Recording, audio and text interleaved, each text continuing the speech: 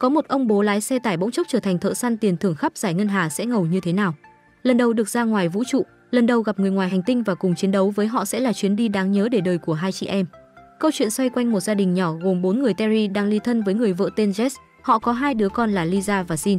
Mở đầu tập phim với công việc của Terry ở giải ngân hà khi anh đang theo dõi một sinh vật sống chất lỏng bỏ trốn. Sau khi cải trang thành shipper và thành công tiếp cận giọt nước, nhưng nó lại bỏ trốn một lần nữa. Tuy nhiên anh đã nhanh chóng đuổi theo và đóng băng nó trước khi nhảy lên tàu thành công.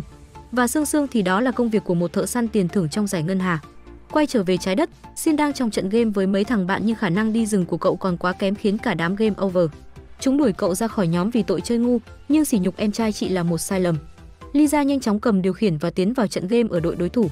Với độ tinh danh láo cá, cô nhanh chóng hạ gục cả đám bạn của xin khiến chúng thua thảm hại. Hai chị em vui vẻ với màn chiến thắng ngoạn mục nhưng vẫn không thể phủ nhận thằng em chơi ngu thật. Vì hôm nay là cuối tuần nên hai đứa sẽ được đến chơi với bố và cũng là sinh nhật Sin nên Terry đã hứa cho cậu con trai đến Splashdown. Jess đưa hai đứa trẻ qua nhà Terry nhưng có vẻ anh không ở nhà, căn phòng bừa bộn bát đĩa chưa rửa. Đang chuẩn bị dọn thì ba bọn trẻ quay trở về, anh muộn do đi mua chút đồ và đỗ xe ở bãi. Tình cảm cha con vẫn khá thắm thiết, tuy nhiên trước khi trao hai đứa trẻ tại đây Jess có đôi lời muốn nói với Terry. Về Sin, một cậu bé 8 tuổi bị dị ứng ngày càng nặng hơn do căng thẳng. Còn về Lisa một cô bé học lớp 5 nhưng trong lần gây quỹ cho phòng tập mới, thay vì đi bán kẹo như đám bạn thì cô bé lại tổ chức một sòng bài poker và cuối cùng nó thắng sạch tiền của bọn trẻ. Tuy nhiên phụ huynh nổi đó và bắt trả lại hết tiền gây quỹ, nhưng con bé lại thuê một đứa lớp 7 đi đòi nợ hộ. Các bạn hiểu qua tình hình gia đình này chưa? Đám trẻ đang thiếu đi sự quan tâm của bố nên Jess muốn Terry phải ở bên con mỗi khi chúng cần. Terry cho rằng anh không muốn đi xa, nhưng mỗi chuyến đi sẽ kiếm cả bộn tiền giúp họ sống tốt một thời gian. Tôi đến ba bố con ăn uống vui vẻ và đến giờ xem phim, để đổi mới không khí Lisa đề xuất bộ phim Snowdad. Bộ phim kể về một ông bố đi làm xa không quan tâm gia đình và một ngày chết đi, nhưng được sống lại làm người tuyết để giúp đứa con trai hoàn thành phần thi trượt tuyết. Lisa nói dối lên nhà làm bài tập nhưng thật ra con bé chỉ muốn ba xem bộ phim này để hiểu ra rằng gia đình cần ông ấy như thế nào. Terry và Sin nằm xem phim khi đang chán ngắt đến buồn ngủ, một ông chú bí ẩn xuất hiện gõ cửa. Xin gọi bố dậy thì anh ấy vội vã chạy ra ngoài, kêu con trai quay về ngủ chỉ là đồng nghiệp ở chỗ làm mà thôi. Ông ấy đến và muốn Terry thực hiện một vụ làm ăn, truy bắt kẻ đang gây rối cho hoạt động của tập đoàn và các thông tin về kẻ này đã có trong file tài liệu. Tiền thưởng lần này đủ cho cả gia đình có một cuộc sống mới tốt hơn. Hắn nắm rõ tình hình gia đình và cộng thêm số tiền lớn đó khiến Terry buộc phải đồng ý. Terry vào nhà nói chuyện với con trai rằng mình có việc gấp phải đi làm vào cuối tuần và bà nội sẽ đến chăm sóc hai đứa nhưng có vẻ xin lại thất vọng một lần nữa. Cậu bé buồn bã quay về phòng và nói lại với Lisa, cậu muốn được đến nơi làm việc của bố nên chị gái đã nảy ra một ý tưởng. Hai đứa lẻn vào cốp xe sau của bố nhưng vì quá chật nên chúng đã vứt bớt hành lý lại. Sau khi Terry tạm biệt cả nhà và lên đường chiếc xe như đang phi lên trời nhưng bọn trẻ chưa hiểu gì định mở ra làm bố ngạc nhiên khi chiếc xe dừng lại. Nhưng người ngạc nhiên lại là hai đứa bởi không gian xung quanh là trong một con tàu vũ trụ. Bỗng con robot bay đến cảnh báo xâm nhập lạ khiến hai đứa hoảng loạn bỏ chạy đến khoang lái. Ba bố con gặp nhau trong sự bất ngờ kinh ngạc trong con tàu vũ trụ. Bọn trẻ thì thích thú vì được ở ngoài thiên hà, xin nghịch ngợm các nút phím khiến con tàu nhấp nháy ánh đèn vô tình thu hút một con nhẫn quỷ đến. Theo như robot nói thì con quái vật này đang muốn giao cấu với con tàu vì nó tưởng đây là bạn tình của nó. Terry nhanh chóng lái phi thuyền thoát khỏi đây, con quái vật tức giận đuổi theo sát nút. Anh nhìn thấy một thiên thạch thích hợp và bay quay khiến con quái vật mắc kẹt lại thành công trốn thoát. Sau cuộc va chạm, Terry đã nói ra thân phận thật của mình với các con rằng anh chính là một thợ săn tiền thưởng giải ngân hà. Bọn trẻ thích thú với nghề của bố và muốn được ở lại tham gia vào việc bắt kẻ thù. Nhưng Terry nhất quyết đưa chúng trở lại vì vũ trụ không dành cho trẻ con. Khi quay ra xe tìm quả cầu xanh Watt thì không thấy, bọn trẻ đã vứt bỏ nó ở nhà vì không đủ chỗ. Nhưng phải có quả cầu mới thực hiện cú nhảy cách vài năm ánh sáng được và giá của chúng không hề rẻ. Để có thể mua lại quả cầu Terry buộc phải hoàn thành nhiệm vụ lần này và hai đứa trẻ vẫn chưa thể quay trở về trái đất. Sau khi gọi về cho mẹ ở nhà và nói rằng mình đã đưa bọn trẻ đi chơi xa vài ngày nên bà không cần lo nữa. Sau đó để đi tìm kiếm thêm thông tin Terry đến Bắc Kỳ Quanto S một quán pub nổi tiếng, nơi tụ họp các thợ săn chuyên nghiệp trong giải ngân hà. Theo như dự kiến thì Terry sẽ vào kiếm thông tin và mua ít cánh gà tuyệt đỉnh, còn hai đứa sẽ ở yên tại con tàu. Bước vào quán Terry nhanh chóng phát hiện mục tiêu nhưng lại bị phục vụ chặn lại yêu cầu gọi món. Lisa tức tối vì bị bắt ở lại tàu nên đã rủ Jason cùng cải trang và tiến vào quán. Cả hai thích thú tiến vào nhưng xin vô tình va phải tên lợn rừng to lớn. Khi hắn định tấn công thì may mắn nhân viên đã ngăn cản vì quy định không được đánh nhau trong quán mới khiến hai đứa thoát một mạng. Vào bàn gọi đồ, nhưng xin ăn quá nhiều gà cay khiến cậu đau bụng chạy vào nhà vệ sinh. Lisa bị sòng bạc bên cạnh thu hút, cô lượn lờ qua xem để học luật chơi khi chuẩn bị rời đi thì bị tên đầu mực chế nhạo khiến cô tức giận. Hắn không hề biết cô bé trước mặt chính là một thần bài. Terry yêu cầu anh bạn cũ Green cho mình ít thông tin về cô gái tên VAX, nhưng con tắc kè này không chịu và muốn anh trả tiền cho những thông tin đó. Làm gì còn tiền mà trả nên anh đành phải chơi trò tay bo, nhưng hai con gà cảnh vệ lực lưỡng sẽ khiến anh mất chút thời gian. Xin trong nhà vệ sinh và vô tình thấy tên Green cũng vào đây cùng với một con gà, đang nghe trộm cuộc nói chuyện thì cậu vô tình gây tiếng động khiến chúng để ý tới. Chúng đạp cửa từng buồng và thấy có robot đang sử dụng nên đã vội vã xin lỗi đóng cửa lại. Nhưng robot lại đi vệ sinh khiến hắn nghi ngờ, định quay lại hỏi thì Terry xuất hiện đánh nhau với chúng. Sau khi bị tra tấn bằng vòi xịt đít cuối cùng Green cũng chịu khai rằng cô ta mua một đống vũ khí từ anh họ và đang đến Chilean năm hành tinh du lịch. Anh dùng con tắc kè để đánh con gà, sau một hồi cũng triệt hạ được cả hai đứa và phát hiện Sin lại đang trong phòng vệ sinh. Anh vội vàng kéo con trai rời đi và tìm kiếm Lisa. Lúc này cô bé đang vét sạch sòng bạc, khiến tên đầu mực tức tối vì bị một con nhỏ lừa hết tiền. Terry vội kéo cô bé đi nhưng hắn đã nhận ra anh là Sabo Brock còn tên đầu mực kia là Grolox. Cả hai đã từng là cộng sự của nhau cho đến khi Terry quyết định hành động một mình. Hắn nghi ngờ rằng Terry đang có một vụ làm ăn lớn nên hai đứa nhóc này là cộng sự mới của anh. Grolox vẫn đang tức vì bị Terry cho ra rìa nhưng hắn lại khoe mẽ rằng bản thân đã tìm được cộng sự mới con lợn to cao tên Toga, Lut Bát giả và bốc đóc. Terry muốn nhanh chóng rời đi trước khi tên Krun kia tỉnh lại nhưng không kịp nữa rồi. Anh đành tạo ra sự hỗn loạn domino và khiến cả quán trở nên hỗn loạn. Mờ nhạc nổi lên, các con vật đánh nhau hỗn loạn và nhân viên xuất hiện bắn laser về phía chúng. Tưởng chừng như đã thoát được nhưng chạy ra đến gần con tàu, Terry vẫn bị dính đóng cửa vĩnh viễn là sẽ không bao giờ được quay trở lại quán. Lên tàu Terry kêu con robot cài đường đến Chilean năm nhưng đám Grolox đã âm thầm đuổi theo. Trong khi Terry đang cằn nhằn về giọng khác biệt của con robot, thì Lisa lại đang dạy em trai đánh bài khiến anh ấy tức điên lên. Anh quát cô bé vì việc đánh bài, cả việc sòng bài tại trường sẽ khiến cô sẽ bị nhà trường đuổi học và sống một cuộc đời phiêu bạt. Bố mẹ còng lưng nuôi ăn học, con đi học tổ chức sòng bài chuyên nghiệp. Lisa nói rằng đây là bộ bài mà bố đã tặng cho cô. Ông cũng đã dạy những trích sáo bài cho cô bé khiến anh ấy nhận ra bản thân đã không quan tâm đến con cái khiến cô bé tổn thương và trở thành một thần bài. Cả nhà lại dừng ở một trạm nghỉ gần đó và cho 10 phút vào mua đồ rồi nhanh chóng rời đi. Xin thích thú chạy tìm những gói kẹo thì vô tình gặp một bạn nhân viên robot. Sau khi lấy rổ đựng đồ xin giới thiệu bản thân là robot xin đến từ trái đất, còn đặt tên cho robot là các và lôi đi chơi một chút. Terry tranh thủ gọi về cho Jess báo cáo tình hình tránh bị nghi ngờ.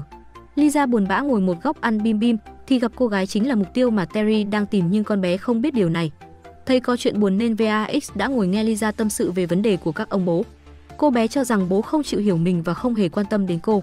Xin chơi đùa cùng các rất vui vẻ cho đến khi cậu cho nó ăn đá say, khiến chập mạch điện và con robot dường như đã thay đổi hoàn toàn thành một cậu bé nhận thức được niềm vui cùng với người bạn mới này. Xin vô tình đeo chiếc kính nhìn xuyên thấu và phát hiện ra những con bọ ở đây, nên đã truy lùng chúng và phát hiện một con bọ khổng lồ trên trần nhà. Lisa sau khi tâm sự với VAX đã cảm thấy thoải mái hơn nên đã đứng dậy đi tìm em trai. Lần theo dấu vết cô tìm thấy thằng bé trốn dưới chiếc bàn, lúc này con bọ khổng lồ cũng xuất hiện. Terry định vào quán thì vô tình chạm mặt với VAX hai người chậm chậm rút súng và chiến đấu. Bên trong hai đứa trẻ cũng đang hoảng loạn bởi con bọ khổng lồ đuổi theo chúng. Các bị con bọ đánh cho thành phế liệu, Lisa thông minh đã cùng em trai hạ gục con bọ bằng cách tận dụng giá hàng. Cả hai đang vui mừng vì tiêu diệt được con bọ, thì hàng loạt đám bọ con chui ra từ khắp nơi. Bên ngoài cuộc chiến vẫn chưa đến hồi kết, khi gần như Terry đã bắt được VAX thì tiếng bọn trẻ kêu cứu. Anh đành chạy vào trong và đưa hai đứa ra ngoài, tuy nhiên đám bọ vẫn đuổi theo và bám lên con tàu khiến nó quá nặng không thể cất cánh. Xin nhanh trí chạy về chỗ ngồi và dùng súng bắn tiêu diệt vài con trên cánh tàu thành công cất cánh rời khỏi tiệm. Khi chưa kịp vui mừng thì cánh tàu phát nổ khiến rắc rối càng thêm rắc rối. Vì cánh tàu đang bốc cháy họ cần phải nhanh chóng tìm một trạm sửa chữa bảo dưỡng nhưng không có một cái nào gần đây và sự lựa chọn duy nhất lúc này chính là hành tinh phế liệu Punga. Trước khi tiến đến Punga, Terry đã căn dặn cả hai đứa không được cầm bất cứ thứ gì, họ chỉ vào lấy phụ tùng thay thế và rời đi. Nhưng vừa mới xuống tàu, Xin đã thấy thiết bị phát sáng gắn trên chân tàu và thích thú lấy nó gắn lên người. Cả ba người tập trung tìm kiếm phụ tùng thì một chú chó khổng lồ tên Mod đã chạm vào Xin. cậu bé rất thích chó nên đã nhanh chóng vuốt ve nó. Đám bọ cho rằng Mod đã chọn Xin làm chủ nên cậu bé phải ở lại nhưng Terry nhanh chóng kéo cậu bé đi. Quay đi quay lại Lisa đã chạy đi mua đồ ăn thì gặp một tên lừa đảo hắn khen cô có sức mạnh siêu nhiên, khiến cô bé thích thú rồi hắn cướp luôn đồ ăn trên tay cô và chạy đi. Terry yêu cầu hai đứa nắm tay nhau bám vào thắt đai của mình rồi đi cho chắc. Lúc này nhóm của Grolox cũng tìm đến đây và thiết bị phát sáng mà xin lấy đi chính là thiết bị theo dõi mà đám này đã gắn lên tàu của Terry. Khi đang cằn nhằn đòi bố cho nuôi mót thì xin phát hiện ra phụ tùng mà họ đang tìm. Vì để không bỏ lỡ nó nên cậu đã chạy đến, Lisa cũng đuổi theo. Thấy bọn trẻ rời khỏi thắt đai Terry yêu cầu nắm tay nhau di chuyển, khiến hai con bọ bên cạnh nghe lời và bám vào thắt lưng anh rồi đi mà không hề biết rằng hai đứa con đã lượn mất. Terry lượn lờ vào một quán bán loa thì một con bọ bán hàng rong đã mời anh mua đồ. Không nghĩ gì nhiều anh mua hai phần cho bọn trẻ nhưng vẫn chưa phát hiện ra hai đứa con đã đổi thành hai con bọ. Bên này hai chị em không đủ tiền mua phụ tùng nên định rời đi, thì con bọ chủ quán gọi lại và đề xuất nếu con robot này chiến thắng trong đại chiến robot thì hắn sẽ cho không phụ tùng này. Xin nhanh chóng đồng ý và cả hai bước vào phía trong khu đại chiến đang diễn ra. nhìn xuống tưởng hai con robot bé tí tẹo, nhưng khi xin xuống sàn đấu thì đối thủ của cậu lại là một cỗ máy khổng lồ Firewalker khiến cậu bé sợ hãi. Lúc này Terry mới nhận ra từ nãy hai đứa bám theo mình là hai con bọ anh vội chạy đi tìm kiếm hai đứa trẻ. Đám Grolocks cũng đến xem đại chiến robot nhưng may chúng chưa nhận ra hai đứa. Mặc dù rất sợ hãi nhưng xin lại cương quyết không chịu rời khỏi cuộc chiến, Lisa đành yêu cầu tạm hoãn để điều chỉnh lại robot của mình. Cô nhanh chóng xuống dưới định kéo em trai rời đi, nhưng xin muốn lấy được phụ tùng cho bà. Lúc này cậu bé nhận ra cỗ máy nào cũng sẽ có điểm yếu và với con Firewalker này chính là bảng điện sau lưng của nó. Xin nhanh chóng bám vào đối phương mặc cho nó tung ra các đòn tấn công cậu vẫn cố gắng bám trụ. Cuộc chiến ngày càng thú vị, cuối cùng cậu cùng mò được ra phía sau của con robot và thành công tháo được cục pin của nó và khiến nó gục xuống. Lisa vội chạy lại xem tình hình em trai may mắn cậu bé vẫn ổn. Lúc này Terry cũng tìm đến, con bọ chủ quán giữ đúng lời hứa mà đưa phụ tùng họ cần đến. Lúc này đám Grolox cũng nhận ra Sabo, anh kêu hai đứa nhỏ nhanh chóng quay lại tàu. Sau khi hai đứa rời đi đám bọ cũng bỏ chạy vì châu bò đánh nhau rồi mũi chết. Lisa kêu em trai cùng mình quay lại để giúp bố, mỗi đứa dụ một con vật theo rồi chạy tán loạn khắp nơi. Rolox đuổi theo Terry và đánh nhau trên lưng mót con chó khổng lồ. Đám tay sai vẫn giáo giết bám theo hai đứa trẻ nhưng hai chị em may mắn đều thoát nạn và chạy về phía con tàu. Terry vẫn đang chiến đấu với tên Grolocks cho đến khi hắn bắn súng vào chú chó khiến nó dừng lại. Hắn kiên quyết đuổi theo Sabo vì tiền thưởng, nhưng lúc này đám bọ đuổi đến và đánh hội đồng tên Grolocks vì dám bắn mót thần thánh của họ. Quay trở về con tàu, sau khi thay thế phụ tùng mọi chuyện đã ổn hơn, tình cảm cha con cũng thắm thiết trở lại. Và thiết bị theo dõi cũng bị tiêu hủy, cuối cùng Terry cũng có cái nhìn khác về hai đứa con vô cùng hiếu thảo của mình. Trên đường đến Chilean 5, xin định chỉnh giọng của robot nhưng lại vô tình nhầm chế độ chân không khiến mọi thứ trong tàu trôi nổi. Terry đang đi vệ sinh mà cũng dính đạn khiến mọi người có vẻ xa lánh anh. Trước khi xuống hành tinh du lịch, Terry triển khai kế hoạch tóm gọn VAX rồi lấy tiền thưởng đưa hai đứa về trái đất.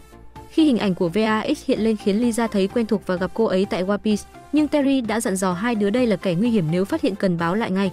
Cuối cùng con tàu cũng đến Chilean 5, nơi hạnh phúc nhất thiên hà được điều hành bởi công ty mà Terry đang làm. Lisa không hiểu tại sao VAX lại đến đây khi đang là một tội phạm. Công viên vui chơi khá rộng nên sẽ mất chút thời gian tìm kiếm nên cả nhà sẽ chơi ở đây một lúc. Hôm nay cũng chính là ngày sinh nhật của Sin, họ sẽ bắt đầu vui chơi tại địa điểm đầu tiên sông lười. Sau mà nhận nhầm người thì cả nhà nhanh chóng lên xe trượt, cứ ngỡ chỉ là trò trẻ con tẻ nhạt ai ngờ cảm giác mạnh quá khiến Lisa và Terry xanh mặt không dám chơi lần hai. Tiếp theo đến trò bắn súng, sau khi quan sát nhanh, Lisa cầm súng và bắn một hồi được điểm rất cao thành công nhận được một con gấu bông cho Sin. Cô bé kêu bố chơi thử để luyện tập nhưng Terry không thèm nhìn luật mà bắn hết tất cả những tấm bia và thua cuộc, vì theo luật chỉ bắn người ngoài hành tinh xấu xa ngoại trừ Chila. Sắp đến màn trình diễn Chila nên Sin hào hứng kéo mọi người đến xem. Tại đây loài động vật Chila quý hiếm được công viên bảo tồn và tập luyện để biểu diễn những màn giải trí cho người xem.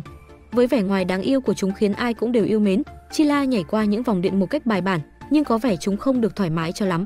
Mặc dù chiếc vòng khá nguy hiểm, nhưng Chila lại vượt qua dễ dàng tiếp tục nhảy múa. Lúc này mẹ bọn trẻ gọi đến, Terry phải kêu cả hai ra ngoài và nói dối rằng ba bố con đang chơi ở Splashdown. Được thấy bọn trẻ chơi đùa vui vẻ khiến mẹ cũng yên tâm, để xin không nói linh tinh nên Terry nhanh chóng lấy lại điện thoại.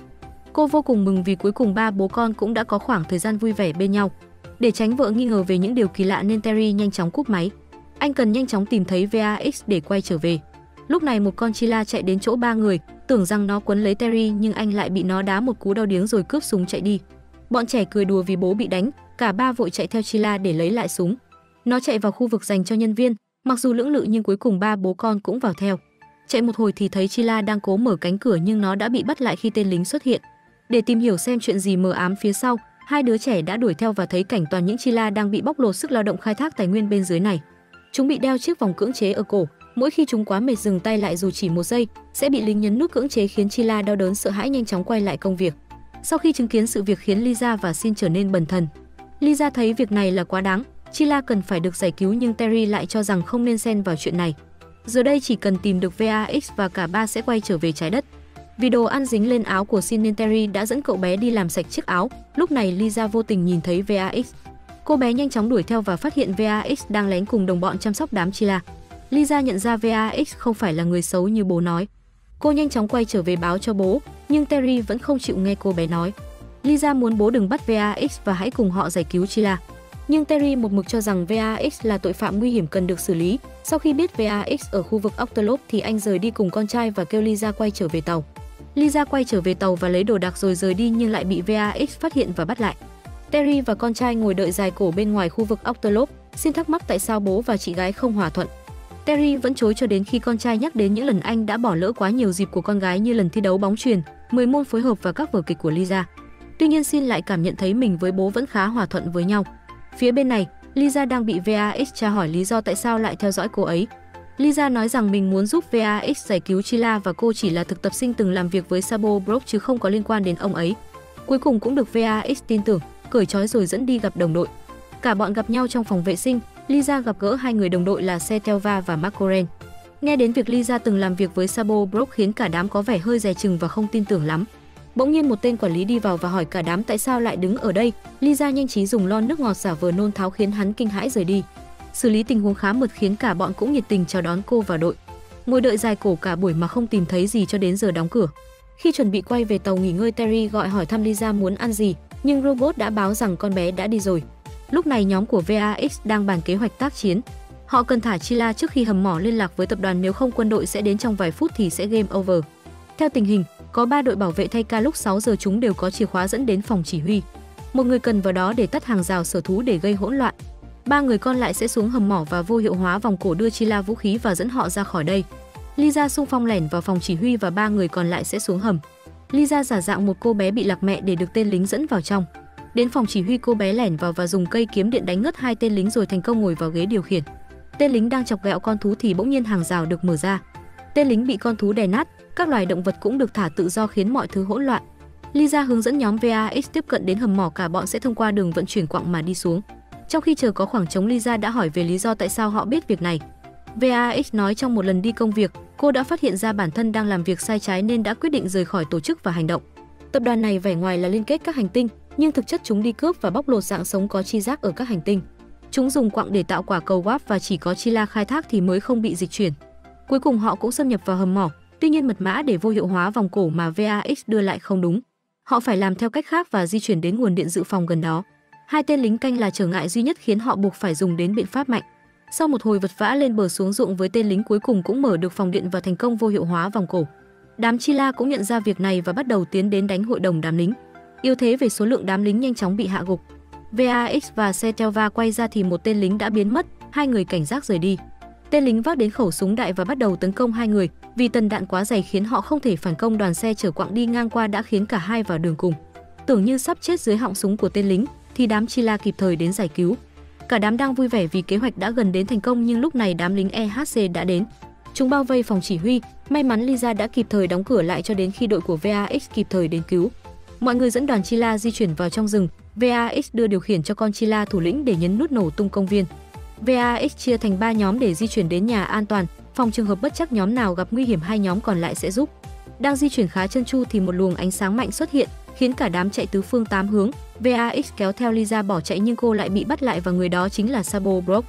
VAX bị bắt về con tàu, Lisa cố gắng giải thích nhưng Terry không chịu nghe con bé nói, anh trách mắng cô con gái rằng đã không nghe lời và đi cùng kẻ xấu. Hai cha con cãi nhau to, Terry cho rằng mình làm việc chăm chỉ để lo cho gia đình nhưng bọn trẻ lại không ngoan ngoãn nghe lời mình. Anh đuổi cô bé về phòng giam và to tiếng với Sinh khi cậu bé đang sửa lại giọng nói của KRS khiến cậu bé căng thẳng rồi bỏ về phòng. Bọn Grolox vẫn chưa chịu từ bỏ, chúng tìm thấy Green kẻ bán tin và biết được Sabo truy đuổi mục tiêu ở Chilean 5. Sau khi bị moi thông tin do cằn nhằn nhiều nên con tắc kè hoa đã bị vứt ra khỏi tàu. Terry gọi về EHC, nhưng anh do dự với quyết định của mình. Được biết VAX trong một dự án đặc biệt nhưng cô ấy lại bỏ trốn và gây ra những hoạt động xung đột với lợi ích của công ty. Với lời giải thích mập mờ của tên quản lý, Terry quyết định không nói ra sự thật. Lisa giải thích với VAX rằng mình không phải gián điệp, cô bé thực sự muốn giúp cô ấy. Xin buồn bã đến ngồi cạnh chị gái. Khi Terry định quay và nói chuyện với mấy đứa trẻ, KRS đã cảnh báo có hoạt động khí lưu huỳnh bất thường ở Chilean năm cần nhanh chóng rời khỏi đây nếu không sẽ bị kẹt tại đây. Lúc này có hoạt động bất thường ở tàu con thoi, VAX cùng hai đứa trẻ đã bỏ trốn, Terry cần nhanh chóng đuổi theo để cứu bọn trẻ, trước khi cơn bão đến nếu không kịp anh sẽ mất cả hai đứa. KRS an ủi anh sẽ bắt kịp bọn trẻ và khả năng thành công rất cao hãy tập trung đừng mất bình tĩnh. Xin trở nên hoảng loạn, Lisa an ủi em trai rằng sẽ đưa VAX đến nơi an toàn rồi tính tiếp. VAX yêu cầu hai đứa quay trở về với bố vì việc này quá nguy hiểm mọi thứ đều phải trả giá, làm người tốt không hề đơn giản như Lisa nghĩ. VAX cố gắng liên hệ với đồng bọn nhưng không có tín hiệu, cơn bão đang đến gần những tia sét liên tục đánh vào chiếc xe khiến nó mất kết nối động cơ. VAX nhanh chóng đập mạnh vào bảng điều khiển khiến nó hoạt động lại. Bước vào vùng cơn bão cả con tàu của Terry cũng khó tránh những tia sét nó khiến KRS sập điện và mất kết nối. Đúng lúc này tàu của Grolox lại xuất hiện, hắn muốn cướp tiền thưởng rồi xử lý đám cộng sự của Sabo. Hắn cho rằng Sabo luôn coi thường người khác vậy nên hắn muốn trả thù anh. Grolox bắn liên tục về con tàu của Terry khi anh đang đuổi theo xe của các con. Vừa bị tia sét đanh vào vừa bị tấn công khiến con xe rung lắc liên hồi, xin hoảng loạn la hét ngày càng to cậu muốn được quay trở về nhà với mẹ. Tên Grolox liên tục nã đạn vào con tàu của Terry cũng những lời khinh bỉ. Vì sự an toàn của hai đứa con anh buộc phải phản công lại. Terry nhanh chóng bắn trúng con tàu của Grolox, may mắn KRS cũng đã kết nối lại, thiết lập bộ đàm với con tàu thoi. Đám trẻ đang sợ hãi, Grolox đã tóm được bọn trẻ và cho nổ tung tàu của Terry. Grolox nhớ lại lần đầu gặp Sabo, ngày đó cả hai đều còn khá trẻ kể từ khi Terry còn ghét trẻ con vì phiền toái. Lúc đó Terry là một thám tử tự do, chuyên bắt những tội phạm để lấy tiền thưởng từ cảnh sát. Trong một lần nhận nhiệm vụ bắt tội phạm, Terry nhanh chóng tìm ra và đuổi theo tóm gọn hắn. Nhưng kẻ này không phải người thường, hắn là tội phạm ngân hà nên vũ khí nguy hiểm hơn rất nhiều. Tưởng như chết dưới họng súng của tội phạm thì Glorlock xuất hiện và nhanh chóng tóm được hắn ta.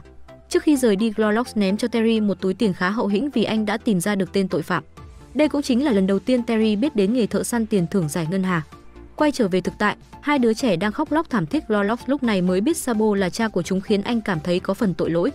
Quá khó xử nên đã đuổi hai đứa về phòng giam và cho tàu ở lại quỹ đạo để liên lạc về công ty. VAX an ủi bọn trẻ và kêu chúng hãy bình tĩnh, tin vào khả năng của bản thân để vượt qua. VAX cho rằng họ có thời gian trước khi tập đoàn đến, cả ba đi tìm mấy thứ có thể làm vũ khí. Lúc này Terry may mắn tỉnh lại trên hành tinh Chilean, máy bay đã vỡ vụn người anh đau thắt nên đã ngất đi lần nữa. Khi tỉnh dậy thì bị đám Chila kéo lê đi hỏi tội vì anh chính là người bắt cóc VAX. Nhưng Sabo nói rằng hiện giờ VAX và Lisa đang gặp chuyện, anh cần nhanh chóng quay lại cứu những đứa trẻ.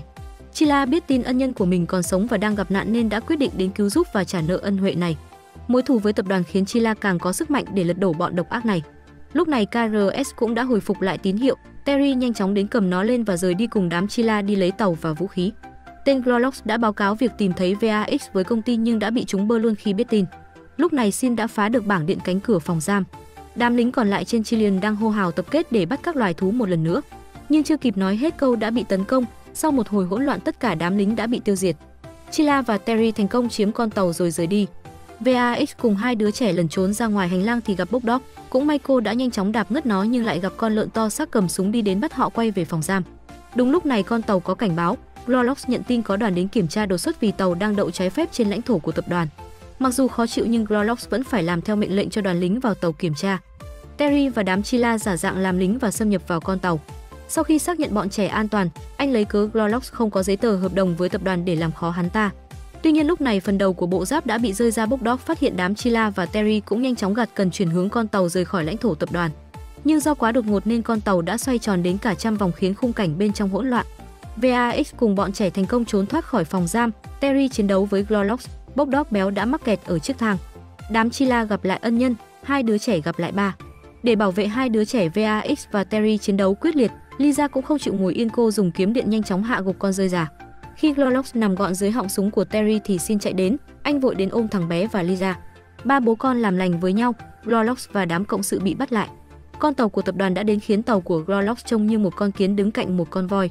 Tàu của Glorlox chuẩn bị tiến vào tàu của tập đoàn, Glorlox hào hứng và nhanh chóng thay đổi tình thế. Hắn ngây thơ nghĩ rằng việc giao nộp VAX và Sabo sẽ khiến hắn được gấp đôi tiền thưởng hậu hĩnh.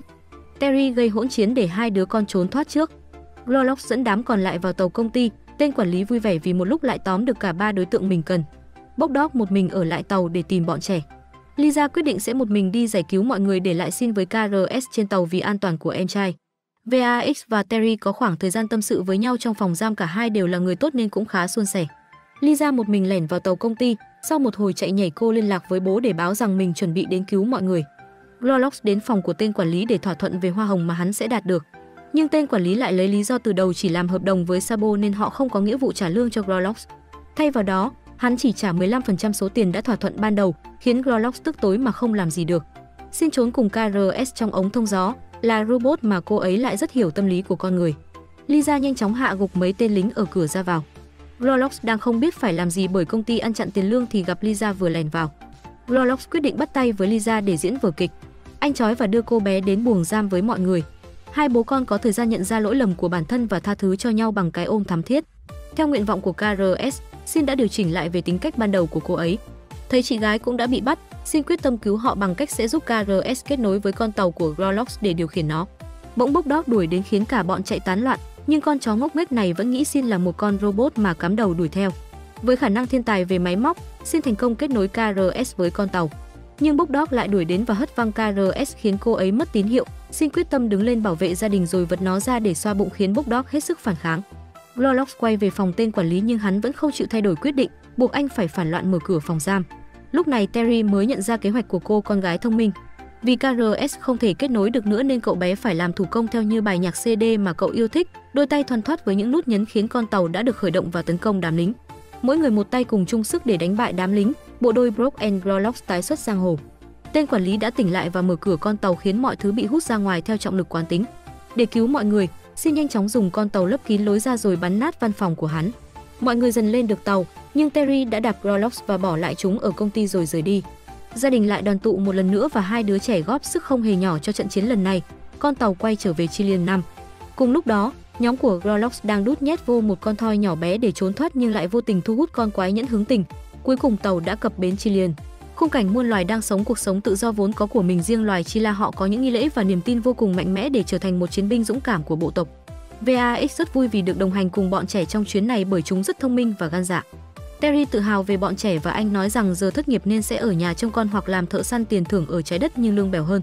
VAX ngỏ ý mời Terry về đội của mình tuy nhiên anh cũng vui vẻ xem xét lại. Bỗng dưng mẹ bọn trẻ nhắn tin đến rằng đang chuẩn bị qua khiến Terry sợ hãi hoảng loạn vì giờ họ đang rất xa nhà và còn không có bóng WAP. Không biết đang đứng trên mỏ vàng hay gì, đây chính là hành tinh sản sinh ra bóng quáp mà mọi người. Chila mang đến cả thùng bóng quáp khiến Xin vui sướng vội vơ cả đống về. Có bóng quáp nên có thể quay trở về nhà, mọi người chào tạm biệt VAX và Chila rồi rời đi. Xin được làm chủ con tàu, động cơ quáp khởi động họ đang vượt qua hàng ngàn năm ánh sáng để quay trở về trái đất trong khi mẹ bọn trẻ tắc đường hàng dài. Vì mải mê chất chít mà Terry khiến con tàu va chạm rung lắc nhưng cuối cùng cũng về đến trái đất. Ba bố con vội vào xe và lái về nhà, vừa kịp mở khóa vào nhà thì Tess đến. Bọn trẻ đang vội giải thích chỉ là đồ hóa trang, thì Tess tức giận vì Terry dám đưa bọn trẻ vào vũ trụ khiến hai đứa không hiểu chuyện gì đang xảy ra. Và đã đến tuổi nghe sóng gió gia tộc, sự thật rằng Tess là người ngoài hành tinh. Trong một lần Terry làm nhiệm vụ bắt kẻ đào tẩu và cô gái đó chính là Tess mẹ bọn trẻ. Nhưng Terry đã trúng tiếng sét ái tình ngay khi gặp Tess. Cùng trong nghề nên khá hiểu tình hình mặc dù bị bắt nhưng Tess vẫn rất bình tĩnh. Cả hai thực tế đang đánh nhau nhưng lại như đang khiêu vũ dưới bản nhạc say đắm. Và thế là hai người rơi vào lưới tình, Terry tạm rửa đao gác kiếm về ở ẩn với Tess. Cả hai kết hôn chuyển đến ngôi nhà mới cuộc sống mới và có hai đứa. Khi cơm áo gạo tiền đè nặng cuộc sống, Terry quay trở lại với nghề khiến Tess lo lắng họ sẽ gặp nguy hiểm. Thời gian anh đi xa ngày càng nhiều, khiến tình cảm cha con không được gắn bó thắm nồng và để che giấu việc này nên hai người ly thân bọn trẻ sống với Tess. Xin vui mừng vì bản thân là người ngoài hành tinh thực chất hai đứa là người lai. Tess vẫn giận vì chuyện chồng đưa hai đứa con vào vũ trụ mà không nói với mình. Bọn trẻ giải thích rằng mình tự bám theo và bố không hề biết. Vì vô tình vứt bỏ bóng quáp nên họ không thể về nhà ngay, buộc phải hoàn thành nhiệm vụ để kiếm tiền mua bóng quay về. Tess cảm thông cho cả nhà về việc này và đồng ý trở về gia đình hòa thuận. Cả nhà đang ôm nhau thì một vị khách gõ cửa. Tên quản lý đã tìm đến đây, hắn tấn công Terry vì dám phản bội công ty và bỏ trốn. Tên này có vẻ đã cải tiến hơn, dù cho đánh hay tấn công như nào hắn ta vẫn không hề hấn gì. Cả nhà mỗi người một tay cùng nhau tấn công hắn nhưng vẫn không thể thắng. Đập xà beng, kiếm điện hay bị xuyên thủng người thì hắn vẫn hồi phục và tiếp tục chiến đấu. Dùng mọi cách cứ như này cả nhà sẽ bị tên quản lý giết hết. Đúng lúc này bà nội lái xe đến và lao thẳng vào hắn ta rồi cho nổ tung. Tưởng với màn xuất trận cuồng ngầu của bà đã kết thúc trận chiến nhưng hắn vẫn sống và tiến đến gia đình. Mai Thay Xin vẫn còn vài quả bóng góp tiện tay vứt vào người tên quản lý khiến hắn bị cụt tay mà không hồi phục lại. Đã biết điểm yếu, Tess và Terry nhanh chóng bắt giữ hắn rồi dùng bóng góp để tiêu diệt con quỷ này. Cả nhà lại quay trở về với cuộc sống bình thường nhưng trước hết cần đi tắm. Cùng đồng hành với con cái là cách tốt nhất để hiểu chúng. Hãy làm mọi thứ khi còn có thể, người lớn không hoàn toàn đúng và trẻ con cũng không hoàn toàn sai. Cuộc sống vốn dĩ là vậy hãy tận hưởng nó theo cách của bạn. Hai đứa trẻ một lần nữa được bay vào vũ trụ, một cuộc truy đuổi sắp bắt đầu. Cuộc sống của gia đình nhà Henrik quay trở về bình thường. Bọn trẻ quay trở về trường học, Teji giờ làm nhân viên bán thời gian tại một cửa hàng giày. Xin viết câu chuyện về chuyến phiêu lưu của bản thân ngoài vũ trụ nhưng vì quá hấp dẫn và y như thật khiến thầy giáo muốn xuất bản thành chuyện. Lisa chán nản ngồi trong giờ học vì dường như những kiến thức này đã quá tầm thường với cô bé. Nhưng vì Lisa đã lỡ lời với cô giáo nên đã bị lên phòng hiệu trưởng. Tết ở nhà luyện tập và chơi đùa cùng KRS thì bị nhà trường gọi đến. Nhưng khi đọc những câu chuyện mà con trai viết, khiến cô sợ hãi nên nhanh chóng từ chối lời đề nghị xuất bản của thầy giáo và vội đón bọn trẻ về. Teji đang vật lộn trong kho giày tìm đồ cho khách, có vẻ hơi tăng cân do anh ăn nhiều thịt. Tết gọi điện phàn nàn về vấn đề của bọn trẻ và hôm nay là ngày cả nhà sẽ đi chơi tại Splashdown. Về vấn đề vũ trụ Tết vẫn muốn khi bọn trẻ tốt nghiệp đại học sẽ tính sau. Teji tìm được đồ cho khách vừa ra ngoài thì bị tên quản lý mắng vì hắn soi camera cho rằng anh ấy trốn trong kho buôn điện thoại mà không chịu làm việc. Khi chỉ còn vài phút nữa là sẽ hết ca làm nhưng Teji vẫn bị dí phục vụ vị khách cuối đang chọn giày. Vị khách này có vẻ hơi lạ, giọng nói như robot cho đến khi Teji cúi xuống đo cỡ chân của khách thì bị hắn còng tay lại. Một tên thợ săn tiền thưởng vũ trụ đã đến để bắt Teji. Cả hai đánh nhau một trận ra tơi bời, nhưng cuối cùng vì ăn lắm thịt lâu không luyện tập nên Teji đã bị hắn tóm đi. Tết đưa bọn trẻ đến chỗ làm việc của chồng thì vô tình thấy một con tàu vũ trụ hạ xuống, Teji bị tên thợ săn vác đi trước mặt mọi người. Cô vội vã quay trở về nhà để tìm cách giải cứu chồng. Cô hỏi bọn trẻ đã làm gì khi đi cùng bố, nhưng chúng vẫn nói giảm nói tránh rằng mình chỉ đánh nhẹ chúng chứ không phải cho nổ tung đít. Hai đứa nhớ ra việc tìm kiếm tên cờ diêu thì có thể sẽ biết được chút thông tin vì chú ấy biết mọi thứ. Con tàu của G LoLok vẫn còn ở đây Teji giữ nó phòng tình huống khẩn cấp. Vừa nói xong Tết đã chuẩn bị xong đồ để đi, cô nói mình sẽ vào vũ trụ và đưa bố bọn trẻ quay về, rồi cả nhà sẽ đi Splashdown cùng nhau. Cô còn kịp thời gọi bà đến trông bọn trẻ rồi chào tạm biệt và rời đi. Mặc dù không chịu nhưng Lisa vẫn giả vờ đồng ý tạm biệt mẹ rồi cùng em trai lẻn vào sau xe như lần đi với bố. Nhưng đang hí hửng cười thì bị mẹ phát hiện và đuổi về nhà xem TV với bà nội. Ted lên tàu và tiến thẳng đến Bắc Kỳ Quanto S tìm cờ Diêu. Lisa và xin trốn bà ra kho để tìm kiếm thứ gì đó giúp hai đứa bay vào vũ trụ. Vô tình thay lại tìm thấy quả cầu chứa tội phạm mà bố đã bắt, xin nhỡ tay mở chế độ thả nên khiến giọt nước bay ra ngoài. Cả bọn la ầm lên vì sự xuất hiện của người lạ, giọt nước quát mắng bọn trẻ vì dám nhìn mông mình. Lisa tức tối và hỏi giọt nước là ai, tại sao lại xuất hiện trong gara nhà mình. Xin nhẹ nhàng xin lỗi rồi giới thiệu bản thân và nói rằng Mr. Jelly đang ở trái đất. Giọt nước hoang mang vì anh chỉ nhớ lần cuối mình đang bị Sabo bắt giữ, nhắc đến Sabo, xin nói rằng đó là bố mình khiến giọt nước sợ hãi nhìn xung quanh. Anh định dùng mưu hành kế bẩn để lừa bọn trẻ cố tình nói rằng mình là bạn của Sabo rồi lẻn ra cửa gara và bỏ trốn. Lisa vội đuổi theo nhưng may xin phát hiện tính năng triệu hồi tội phạm về quả cầu thành công bắt giữ giọt nước. Hai đứa thả ông chú ra để tra hỏi, nhưng giọt nước vẫn cố trốn thoát nên đã bị bắt giữ lại và sóc lên rồi thả ra khiến ông chú ngã lăn quay. Cuối cùng giọt nước cũng chịu khai thật rằng bản thân tên Blobby một tên lừa đảo bị Sabo bắt giữ ở hệ Sita. Thấy con tin chỉ là tiền thưởng của bố nên định cất lại nhưng nghe đến lên vũ trụ, giọt nước hào hứng nói bản thân sẽ giúp hai đứa lên vũ trụ nhưng phải thả anh đi. Sau một hồi tìm kiếm thì giọt nước thấy thiết bị phát hiện tàu vũ trụ cạnh đó. Chính xác nó đang được tàng hình đặt gần cạnh ngôi nhà của bọn trẻ. Đây chính là con tàu của tên giám đốc EHC đã đến để tiêu diệt Sabo nhưng lại bị tiêu diệt trước. Bản thân giọt nước là một kỹ sư nên anh có khả năng lái tàu và cả ba đã tiến vào vũ trụ đến Bắc Kỳ Quanto S tìm mẹ. Phía bên này Tech cũng đã đến quán gà rán, cô dùng mũ của Sabo để tiến vào. Khung cảnh quán giờ đây đã thanh tịnh hơn nhiều cả về không gian lẫn đồ ăn.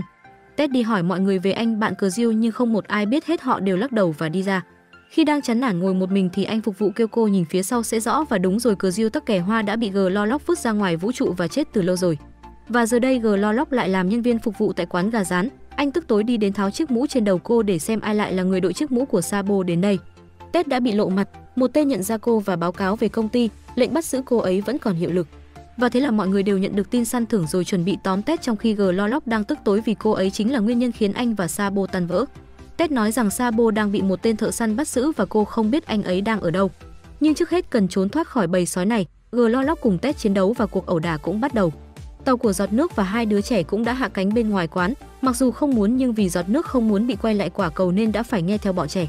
Chiếc tàu của giọt nước bị bắn nổ tung nên cả đám lên tàu của Glorlock lo lóc rồi phóng đi. Tuy nhiên đám thợ săn vẫn chưa chịu từ bỏ chúng đuổi bám theo giáo giết. Xin và Ly ra lại có cơ hội trổ tài lần nữa, khá ăn ý nên đã nhanh chóng cắt đuôi được đám thợ săn.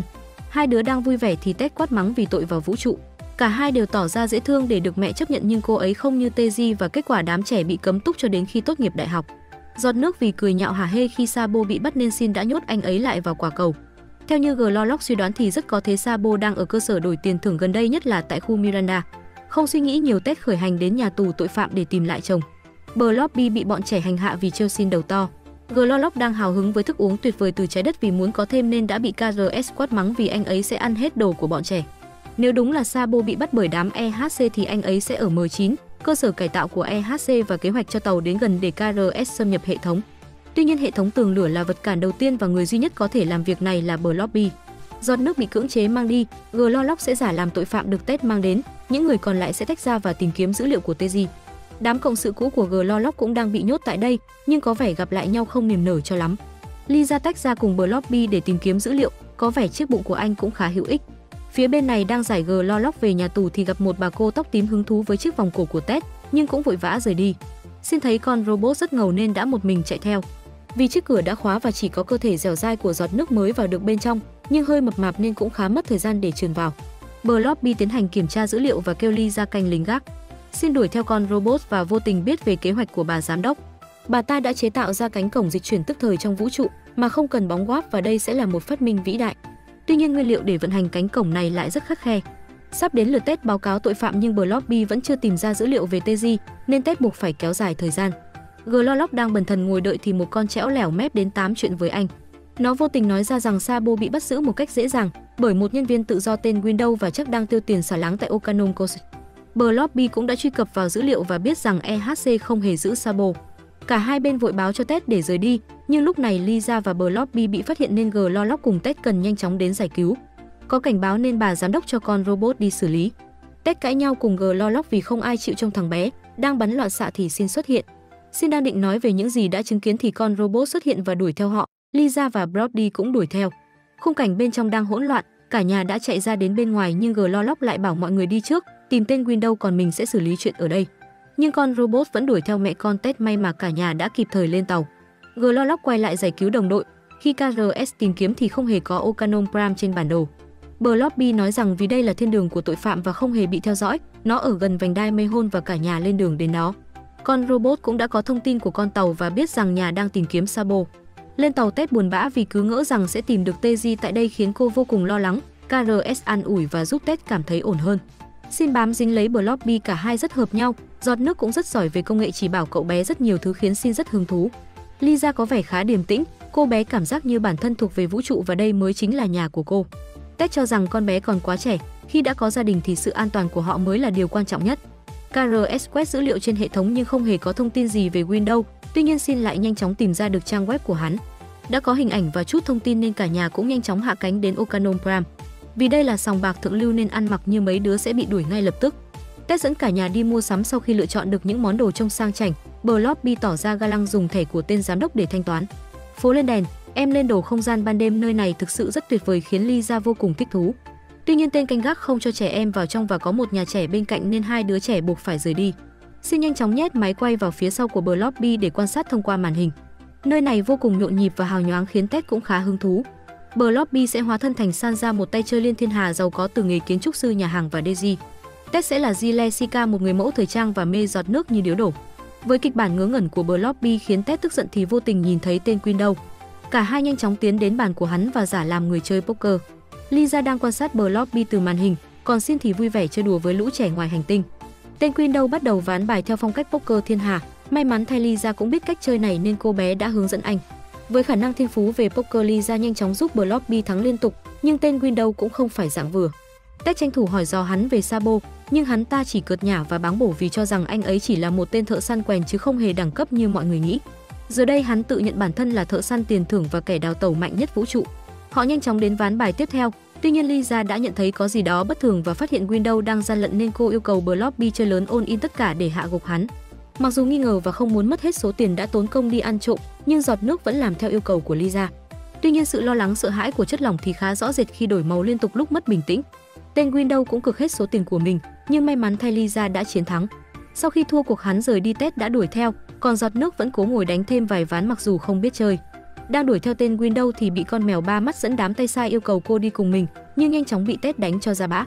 Bờ Lobby bị bắt đi khiến Lisa dẫn theo em trai rời đi. Tìm mãi không thấy Windows mà Blobby lại đang bị con mèo ba mắt bắt cóc vì nghĩ rằng tết là người yêu của giọt nước. Bọn trẻ cầu xin mẹ đi cứu Blobby. Lúc này giọt nước đang bị con mèo tra tấn.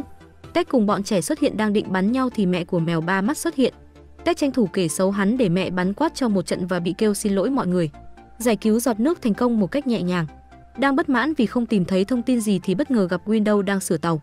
Cô hối lộ hắn với đống tiền để hắn nói ra nơi Sabo đang bị bắt giữ. Vì có tiền nên hắn cũng nhanh chóng nói ra sự thật rằng bản thân được đô giam hội đồng cao cấp thuê để bắt sống Sabo nghe đến đây khiến Tết hoàn toàn bất ngờ. Đương nhiên rồi bởi đây chúng là quê nhà của Tết. Sabo bị giải đến hội đồng xét xử vì những tội lỗi đã gây ra. Bỗng nhiên một tên luật sư đi đến và nói rằng mình sẽ phản biện giúp anh, nhưng nhìn như tên lừa đảo hắn tên ra bao lưu. Sabo bị gắn với những tội danh như tấn công lính hoàng gia, trộm tàu vũ trụ và cuối cùng là bắt cóc công chúa Janeza cũng chính là Tết vợ của anh. Bọn trẻ cũng đã biết được thân phận thật của mẹ là công chúa của Đô Giam, khiến Xin thích thú vì mang trong mình dòng máu hoàng gia. Nhưng Lisa lại tức giận vì mẹ không nói sự thật cho mình biết hai mẹ con lại căng thẳng. Sabo đang phải hầu tòa tại Đô Giam với những bằng chứng khá rõ ràng. Sự thật thì Sabo được thuê để mang công chúa Janeza về Đô Giam nhưng anh lại không hoàn thành. Suốt 14 năm qua họ vẫn tin lời Sabo nói rằng công chúa đã bỏ trốn và anh không thể tìm ra. Tên luật sư màu mè hoa lá lỡ mồm định xin cho Sabo thoát khỏi án tử hình, nhưng lại đẩy anh qua thử thách lửa một nghi thức truyền thống của Đô Giam. Nhà vua đồng ý với thử thách này để buộc Sabo nói ra địa điểm của Janeza. Một đoàn người mèo nhảy múa đi vào và còn mèo được tóc xoăn này tên bờ Kala hắn là hôn thê của Janeza. Hắn liên tục đe dọa nhà vua về hiệp định khế ước giữa hai hành tinh khiến Odaman rất ghét hắn. Sabo bị đưa đến phòng giam, tại đây cũng có mấy đứa bị nhốt chúng liên thuyên về những quy định tại đây. Tên luật sư kia chỉ là một tên lẻo mép không hề có ích gì hết và tại đô giam này thì kho báu của họ chính là Kalatit. Một dạng pha lê chỉ có tại đây nó mọc sâu dưới lòng đất và sức mạnh của nó rất tuyệt vời gần như vô đối khiến Sabo kinh ngạc. Và chính vì nguồn tài nguyên toàn năng này khiến EHC cũng muốn có được nó. Tàu của EHC cũng đã đến mụ Pam vào dự kiến nhà vua và hoàng hậu về đề nghị của mình. Tuy nhiên hoàng gia vẫn cần có thêm thời gian để quyết định nên đã triệu tập cuộc họp triều đình. Bên này, đám tội phạm nghe đến Sabo sẽ phải tham gia thử thách lửa chúng lần lượt khuyên anh thà nhảy cửa sổ chết luôn còn hơn đâm đầu vào thử thách điên rồ đó. Thử thách đó sẽ khiến anh khai ra điều họ muốn nghe hoặc cho tới khi anh bỏ mạng.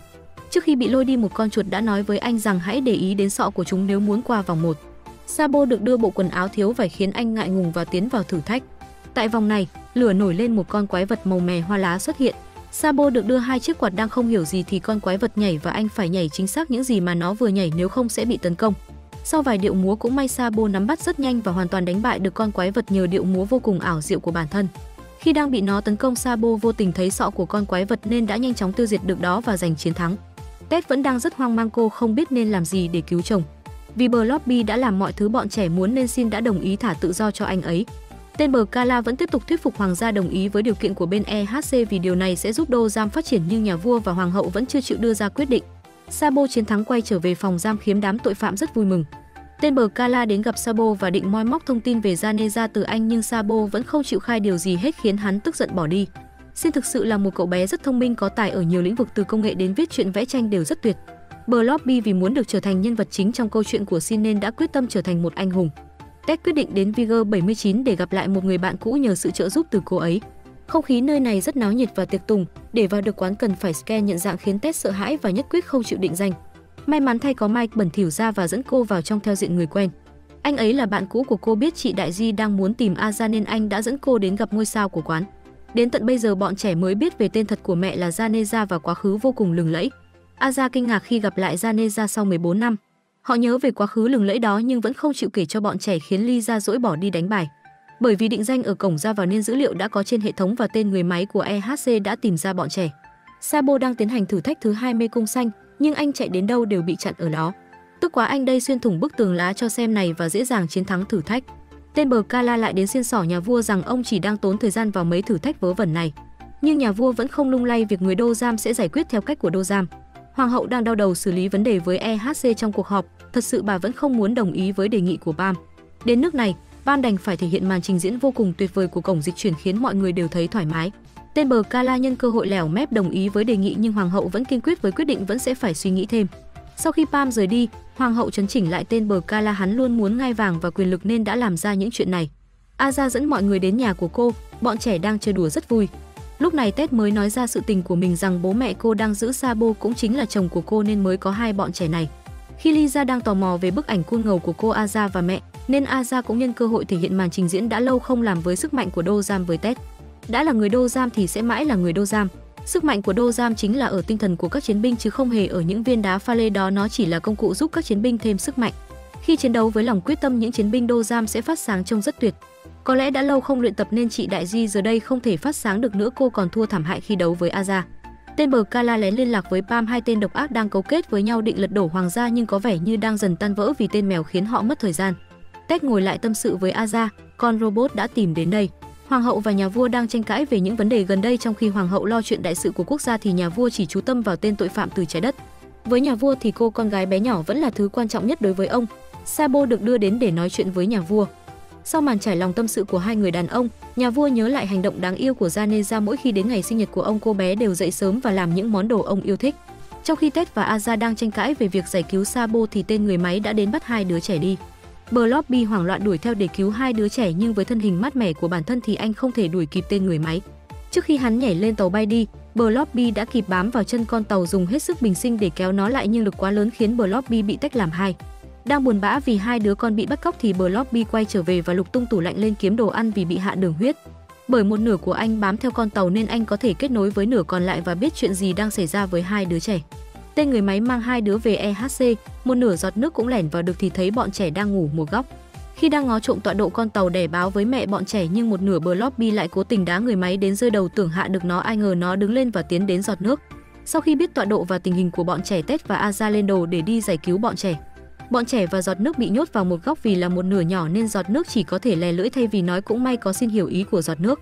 Người máy gọi đến báo cáo đã tóm được bọn trẻ cho Pam nhưng bà ta đang tức giận vì bị hoàng hậu đô giam chậm trễ để ý nên không quan tâm gì đến bọn trẻ.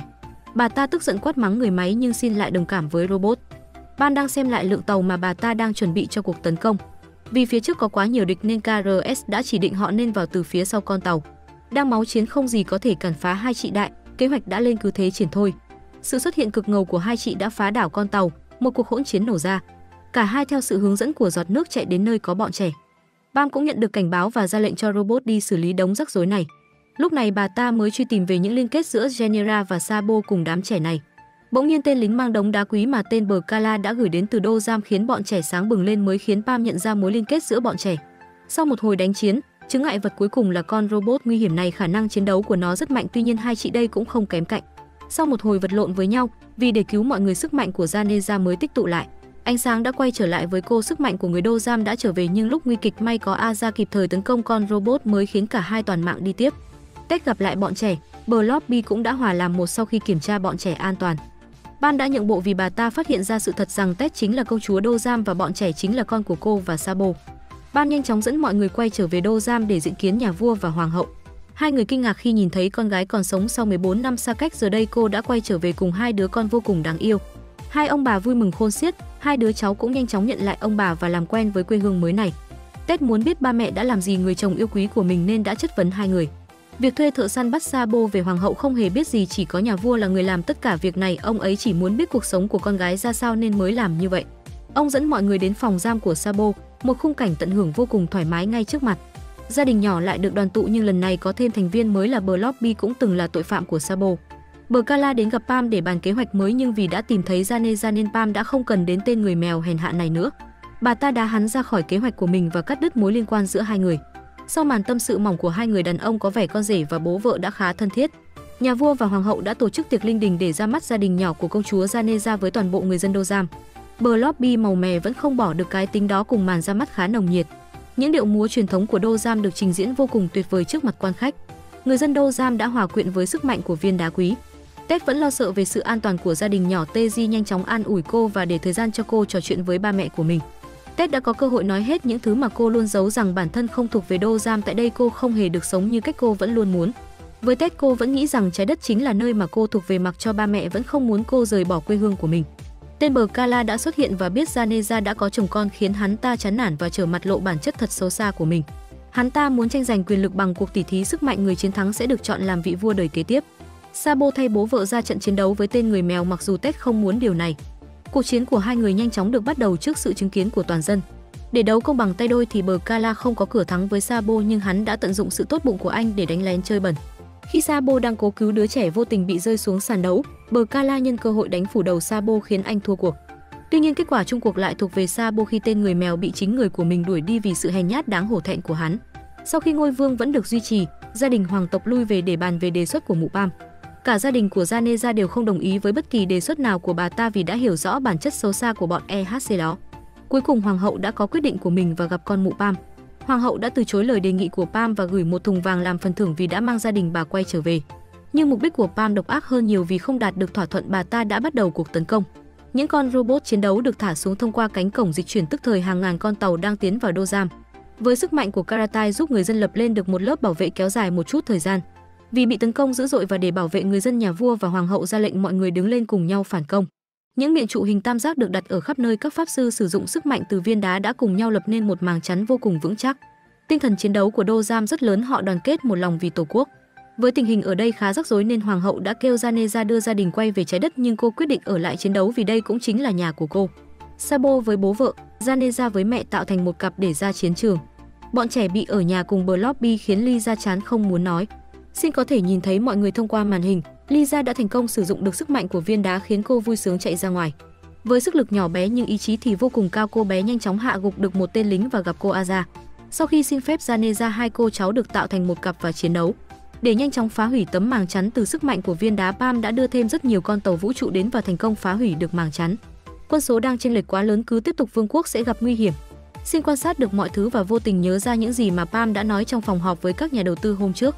Cậu bé nghĩ rằng nếu phá hủy được cánh cổng dịch chuyển thì sẽ ngăn cản được những con tàu. Nhưng việc này cần sự giúp đỡ của Blobby nên cậu bé đã năn nỉ giọt nước giúp mình vì anh chính là một thiên tài về công nghệ. Blobby nhanh chóng bắt được tần số của KRS và giao cho cô ấy một nhiệm vụ quan trọng, chính là lái con tàu bay thẳng đến Đô Giam thông qua cánh cổng. Sin và Blobby thành công lên tàu với KRS quay trở về EHC để hack những cánh cổng. Hack siêu máy tính của người ngoài hành tinh theo sự hướng dẫn của Blobby, hai chú cháu đã bắt tay vào hạ bệ được từng cánh cổng vô cùng thuận lợi. Việc này nhanh chóng bị Pam phát hiện qua màn hình quan sát, robot đã tìm đến hai người. Blobby dùng hết sức bình sinh để bảo vệ Sin, cậu bé lại dùng những từ ngữ chân thành để thuyết phục robot gần như đã thành công nhưng lại bị BOG Dog bắn rụng đầu. Đội của Glolock cũng xuất hiện, thành công giúp Sin phá hủy cánh cổng. Tuy nhiên mỏ đá đang gặp nguy hiểm đám robot bị Pam điều khiển đã đến dùng những cỗ máy để khai thác Karatai. Những robot lần lượt được cử đến, bờ Kala đứng một bên quan sát mọi chuyện, thấy vương quốc của mình đang bị tiêu diệt. Cánh cổng đã bị phá hủy, Pam đẩy nhanh tiến trình khai thác điều khiển đám robot trở nên điên loạn. Mọi thứ ngày càng nguy hiểm hơn, Aza kêu Jane đến bảo vệ mỏ đá còn mình sẽ tiếp tục chiến đấu cùng Lisa. Khi đang vào ngõ cụt thì Glorlock kịp thời đến giúp hai người trốn thoát. Xin vẫn đang suy nghĩ về thứ đã điều khiến con robot vì cậu bé đã thành công thuyết phục được nó. Theo như sự hiểu biết của Blobby thì đám robot được điều khiển thông qua neuron thần kinh, giúp Xin hiểu ra Pam chính là nguồn gốc của mọi chuyện. Cậu nhanh chóng liên lạc với mẹ và nói mọi chuyện, giờ đây họ cần tiêu diệt được Pam thì sẽ kết thúc được tất cả chuyện này. Sabo cùng bố vợ vẫn đang chiến đấu khá quyết liệt, con quái vật nhảy múa cùng anh trong trận đấu lần trước cũng xuất hiện để cùng mọi người chiến đấu. Lisa và Aza đã đuổi đến mỏ đá nhưng không hề dễ sơi bởi đám robot ngày càng nhiều. Janeza nhanh chóng bay đi tìm Pam nhưng cô đã tìm tất cả những con tàu cạnh đó đều không thấy bà ta. Bỗng dưng bờ Kala liên lạc và nói ra địa điểm của Pam cho Janeza biết, bởi anh không muốn vương quốc tuyệt vời này bị tiêu diệt và cũng như là một hành động tạ lỗi với mọi người. Với sự giúp đỡ của bờ Kalazaneza nhanh chóng tìm thấy con tàu của Pam, vì nó vô hình nên trả trách khiến việc tìm kiếm khó khăn. Pam vẫn đang say sưa điều khiển đám lính chiến đấu, Janeza túm lấy cổ bà ta rồi đánh cho mụ ra bã cũng khiến đám robot hành xử kỳ lạ. Để nói về chiến đấu, Pam không phải đối thủ của Janeza cô nhanh chóng giật nút trắng ở đầu bà ta khiến vỏ bọc hình người đó ngừng hoạt động cả đám robot cũng vậy. Mọi người vui mừng vì đã thành công bảo vệ đô giam. Tàu của Janeza rơi xuống một vực sâu, cô vết thương đầy mình quyết đi vào khu rừng thì thấy bộ da tháo giáp của Pam. Bà ta đang ở đây cố tình kéo Janeza đến để định tấn công cô. Bọn trẻ không thể liên lạc với mẹ nên đã báo cho ba đến cứu cô. Pam giờ đây đã quay về với hình hài thật sự của bà ta chính là một con cá sấu xấu xí. Janeza bị con cá sấu quấn chặt và định nhai đầu thì cô ấy đã nhanh chóng dùng chiếc vòng cổ karatai cắt đôi con cá sấu và thay đổi câu chuyện dân gian nó. Khi cô đau mỏi lết ra ngoài thì chồng và bọn trẻ đã đến để đón cô về. Một tháng sau, cả nhà đã quay về trái đất gia đình đã có thêm kha khá thành viên mới. Beta đã được xin mang về sau khi đã thuần hóa, Aza lại thích gờ lo lóc và muốn tìm hiểu anh. Hoàng hậu và nhà vua cũng đã đến trái đất để gặp gia đình nhà Sabo. Mọi người đều vui vẻ khi được gặp lại nhau, người trái đất sống hòa thuận với người ngoài hành tinh. Blobby đọc xong câu chuyện của Xin viết về mình khiến anh vô cùng thích thú còn muốn chuyển thể câu chuyện thành phim ảnh để kiếm tiền. Cả nhà chơi bóng bầu dục rất vui vẻ và hạnh phúc tại con đường nhỏ trong thị trấn. Chuyến phiêu lưu đến đây là kết thúc, mặc cho sự nguy hiểm cái chết cận kề mới thấy tình cảm gia đình to lớn như thế nào. Gia đình bạn thì sao hãy yêu thương mọi người ngay khi còn có thể nhé. Hy vọng mọi người có những giây phút thư giãn khi tận hưởng bộ phim vô cùng tuyệt vời này.